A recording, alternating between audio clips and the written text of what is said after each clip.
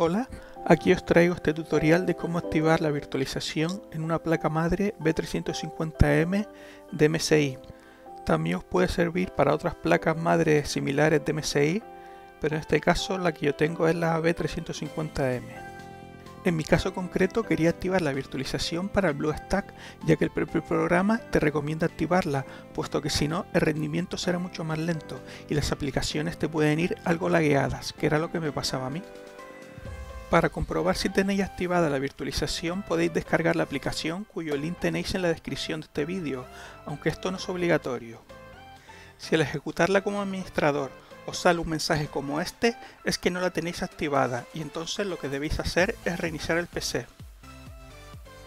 En el momento en que la computadora se está iniciando, dejamos pulsada la tecla suprimir en nuestro teclado, para de este modo entrar en la BIOS.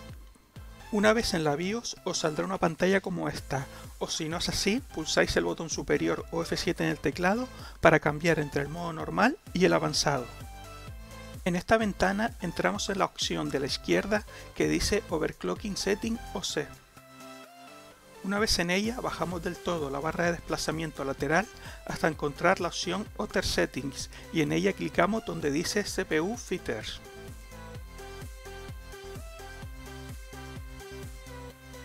En la nueva ventana que se abre buscamos la opción SVM Mode y clicamos en ella. Como veis la tenemos deshabilitada, por lo que la cambiamos a Enable para habilitarla.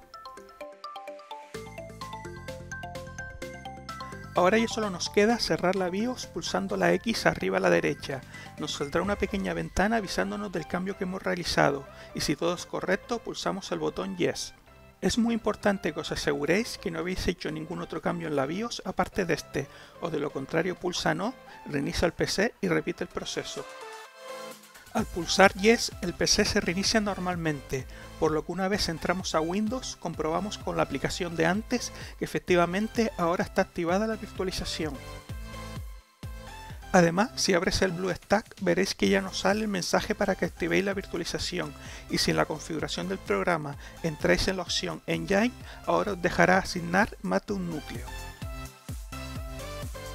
Recuerda que si este vídeo te ha resultado útil puedes darle a like o si tienes cualquier duda déjala en los comentarios.